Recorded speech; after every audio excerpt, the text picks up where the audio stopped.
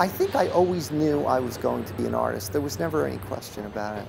And when I got to the point in my life as a young man where I said, hey, you know, what am I going to do for a living?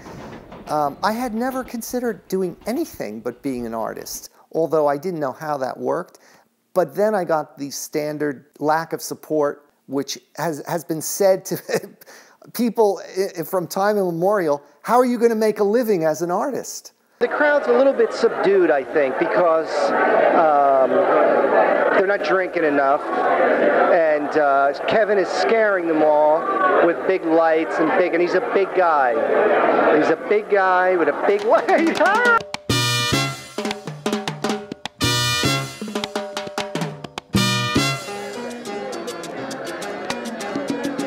You like it? Well, what is it? It's hype. I know it's a it's hyper swing and what the hell? Me, it looks like yin and yang. It's a Jungian concept. I, I just like sexuality. I hope I never make it big, man. These lights are unbelievable. It reminds me of Silence of the Lambs.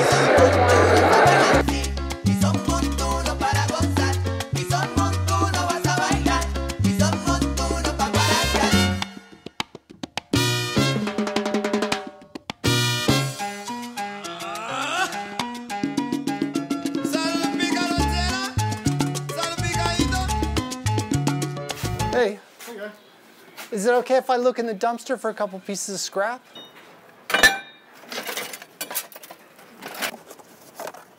Still in the box. These clutch rings are really nice. Oh, the fuzzy, the fuzzy dice. That's hilarious. Oh, they. I got to give this to Greg. Part of a transmission. No way to get that off of there. See, when I see these pieces, I really, I, I, my mind just starts uh, going. I think of so many things I can do with them, and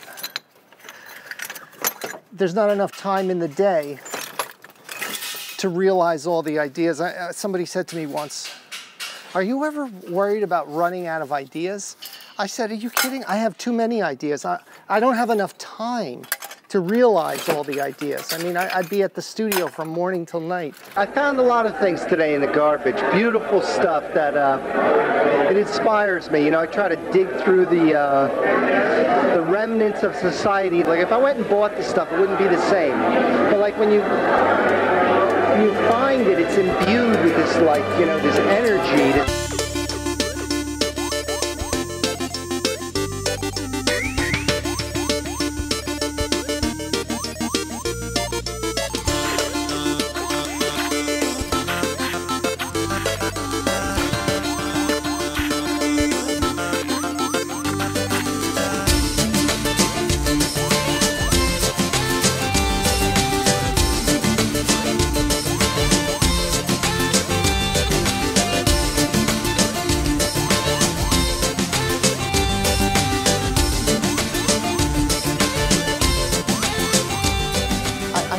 Artists, we're here to communicate something about our time, reflect something about our culture and the society we live in. So I think that's what we all want to do as artists.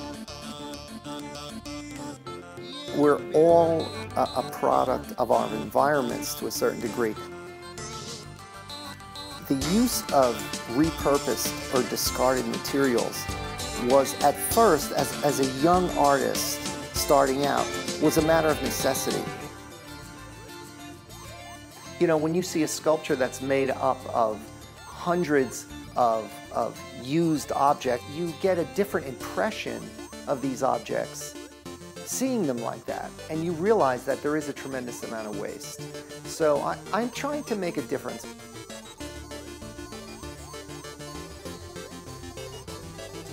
The art world is changing rapidly. The mediums are changing. The, you know, the way that artists can reach their audience is changing. So it's a fluid dynamic. And, you know, I don't want to be rigid in the old ways and say, oh, you know, oil painting or bronze casting or, you know, selling through XYZ gallery is the way a real artist operates. No.